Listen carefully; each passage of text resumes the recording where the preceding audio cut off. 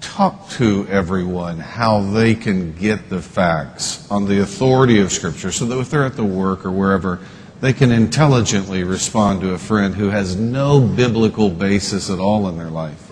I got it, I got it. I know your damn words, all Right. right? I mean, I interviewed leading scholars on this in the book, and uh, Bruce Metzger, as you know, the leading scholar in the world on the text of the New Testament, and uh, Princeton professor emeritus, a great scholar, and others, and, and tried to establish through the in- interviews that you know the New Testament of the Bible is trustworthy in terms of the history that it tells us. No, Colonel Sanders, you're wrong. That the Gospels are, are rooted in eyewitness testimony, that they're written so early that within the lives of um, eyewitnesses who would have, uh, have spoken up had the disciples been going around proclaiming things that were exaggerated and false. We have archaeological confirmation of many.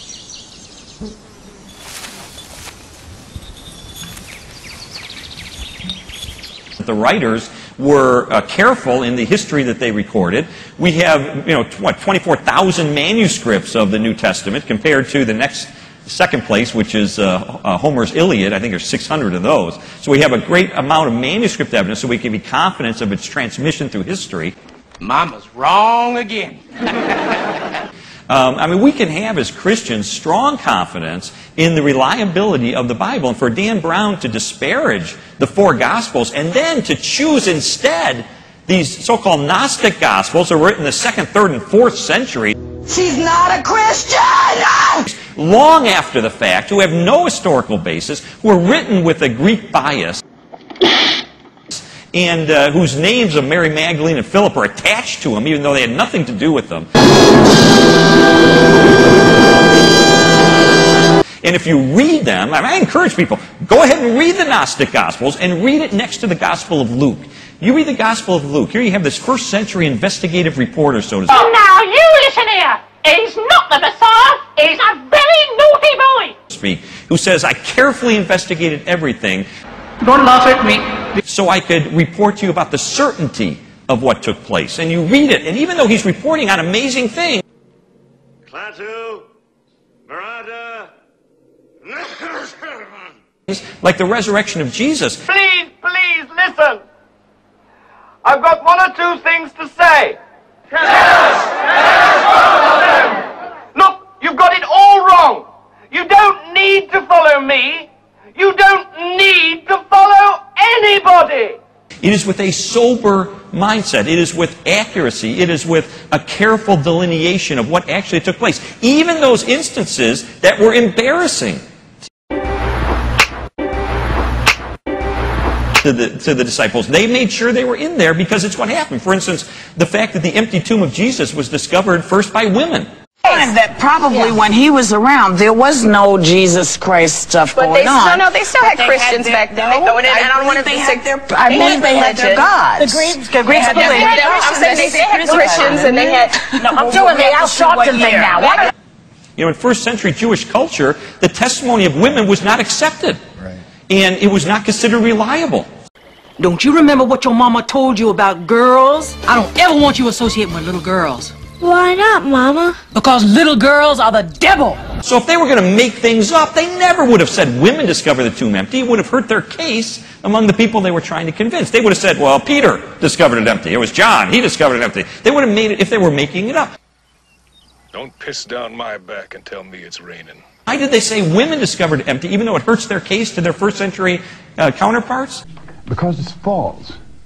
Because that's what happened. And even though it was embarrassing, they still were faithful to the truth and put it in the Bible. So I think we can have great confidence that these records, It's in the guilt producing control business. unlike these other later apocryphal documents, um, you know, we have, we have confidence that they tell us the truth about Jesus. Repeat it after me, bitch. I come in the name of Jesus. It really is an attack on Christianity.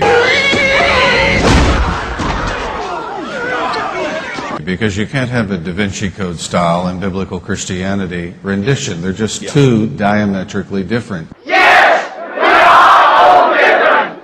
I'm not.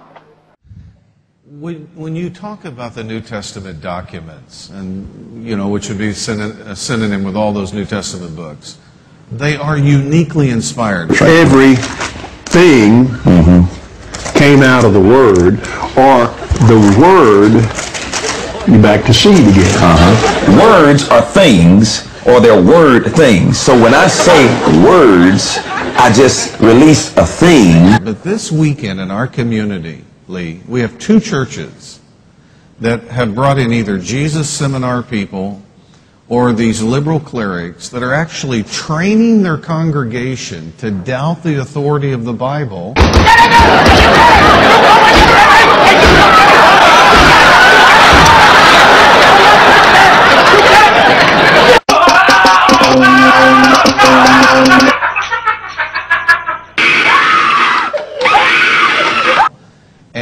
And Elaine from Princeton and others have already been here. And, and, and what does it boil down to?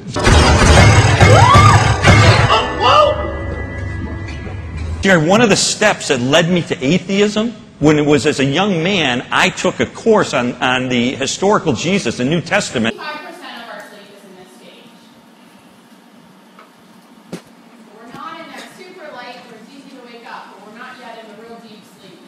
Taught by a skeptic. And that was one of the three big steps, that and Darwinism. And, and I'm funny how? I mean, funny like I'm a clown, I amuse you, I make you laugh, I'm here to fucking amuse you. How the fuck am I funny? What the fuck is so funny about me? Tell me. Tell me what's funny. and other things that led me into a life of atheism. I mean, it, it, the tragedy of that is, why would we as Christians give up our strong card, which is the truth that we have? I don't think hell exists. Religion is always in the control business. I mean, we have an unfair advantage in the marketplace of ideas, and that is we have truth on our side. What is that scripture where Samuel was talking and and he talked to him about answer him Eli? We ought to be emphasizing that. We ought to be pointing people toward the confidence they can have in what it is that the New Testament tells us about the life, teachings, miracles, death, and resurrection of Jesus. But there is a there is a place in our lives that, that can only be filled by the Lord. You know, you have a lot of money and a lot of you do. When I was a skeptic and I began to investigate the historical underpinnings, for instance, for the resurrection of Jesus, the corner pin of Christianity, you know, anybody can claim to be the Son of God. I'm Jesus Christ, man. Jesus proved it by returning from the dead.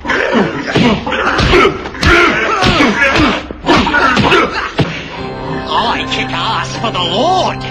And when I saw the avalanche of evidence that points so powerfully toward the truth of that, Behold the atheist's nightmare. that is what convinced me that Jesus is who he claimed to be.